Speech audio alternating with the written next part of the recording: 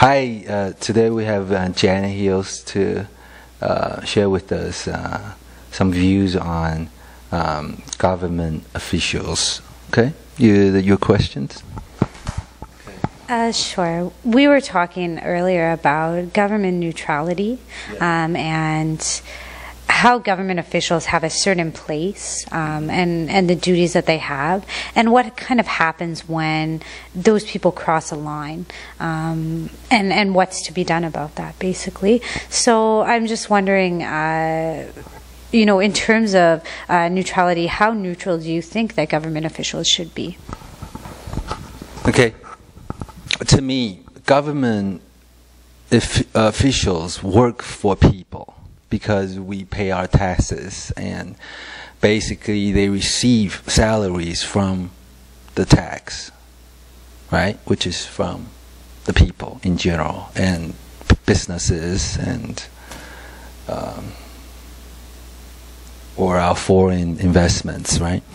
But um, if government officials are working for a certain party, then that shouldn't be right and recently I've been observing uh, the politics here in Taiwan, and someone is crossing that line basically uh, very obviously, and uh, she has been condemned for that reason because she's uh, should be uh, working in economics and how to uh, set up goals for uh, the nation uh, policies, and she should be working for um, the country, not a certain party.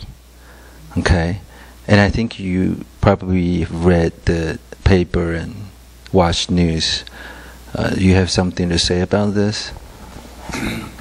Um, yes, I mean, yeah, I definitely read the paper. It's been in the paper for weeks and weeks now about um, this person and, and what they have done uh, and their leanings towards specific uh, parties. Um, I think in Canada, it, it's similar sometimes. Um, not really with government officials, but more like business people or something like that might come out and say something. But those people aren't obligated to they, they don't have a duty to serve you know other people or the entire nation. So it's a little bit um, of a different scenario. Do you uh, think that it would be you know different if if this person came out and said I'm just saying this personally. I'm not saying it you know um, as the you know government official? I'm just saying it personally, or do you think it would be exactly the same? You see, she has two roles. One as a person, a human being, and as a woman, right? That's one role as a human being. And the other is she is serving our country as a government official. And I don't understand why she is demonizing the other party with this basically they call it a scandal when actually a bunch of scientists were working to make this AIDS medicine work and sell internationally. And um, I, just don't understand because everything is legal. And if you think there is something cheap, um, sneaky about it, you should have the investigators and mm-hmm. right the law. You know, um, you shouldn't be like talking to using the media to influence the candidacy. Is that how you say it? Yeah. And actually, I read today that it, a lot of people kind of feel like, well, I guess it's about half, um, kind of feel like this is. Uh, not a good thing. What it was meant to do was to draw attention negatively to a specific party and to make another party seem better. And in fact, what's happened is it's backfired. Right. And now the people who were kind of swing voting, um, those people are now thinking, oh, well, we don't want to be, you know, in with these people. They're letting government officials tell us our business, uh, sort of thing. But um, at the same time, this person comes back again and says more remarks. You know, what do you have to uh, say about that? Well, the you see the um, our pre- president candidate, uh, candidate uh, Tsai um, has been saying uh, many times that uh, she has been used, and the uh, um, ruling party now is basically using her to smear the the DPP, the Democratic uh, Progressive Party, and um, what I'm so what I'm so angry about is that she is receiving salary from us, and she's working for what? The ruling party. That that's that's what I don't understand because there are so many cases. If she wants to examine every case like deliberately, she should be examining every case, not this specific case. And uh, there are uh, polls um, in regards to this specific case that uh, even the uh, ruling party supporters are actually thinking this is a scandal, right? Itself. I mean, she doing this, you know, accusing uh, Tsai. Right. I guess uh, she should never run for office because she'll lose.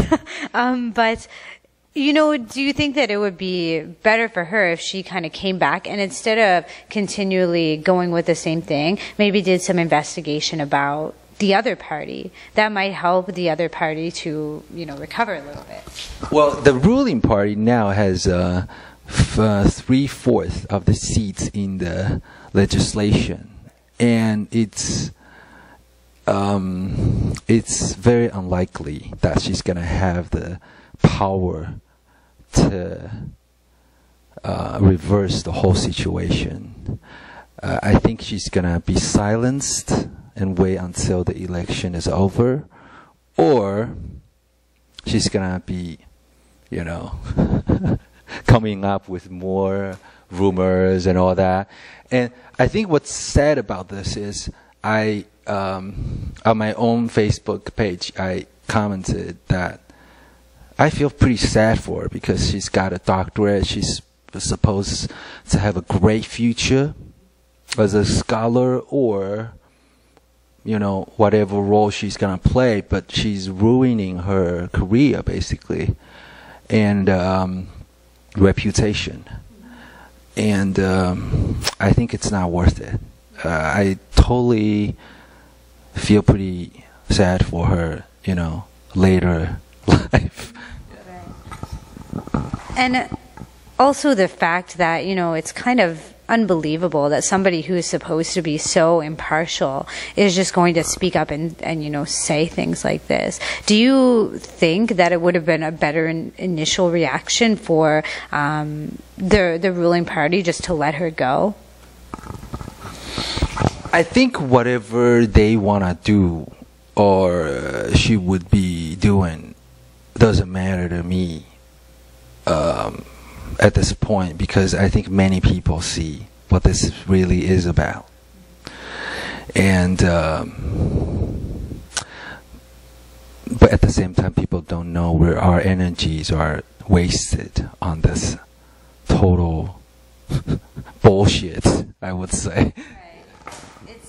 It's a little bit like a gossip factory. It just goes around and around and around, and each day you pick up the newspaper and there's something new. Oh, there she is in the newspaper again saying this, you know, and that, and um, it, it just seems like at this point it's kind of time for her to stop. You know what I mean? Uh, she said enough. Obviously, people are not happy with what she said, and um, I, I think that you know, she would be better just to kind of retreat a little bit and try to save what was left, you know, that hasn't been damaged, um, and try to move move forward. You see, a lot of things are gonna pass. The election's gonna pass, and uh, if the if our world doesn't come to an end, like the apocalypse, right? Well, you know, the global warming and all that. I mean, it's gonna be written in history, and who would want to have a bad name in history, Right. Right? So. I mean, who will want to hire her? if She doesn't work for somebody else, you know. Every time they hear her name, she goes into any place, it's going to be the same. Oh, Well, she could be a financial consultant and whatever. She's gonna, you know, people are forgetful anyway, right? But still, I mean, she could be having a great future while she's doing this, and she's supposed to be old enough and wise enough, and she's setting a bad example for everybody. I think, yeah. So I have nothing else to say except uh, feeling angry and. Um, um,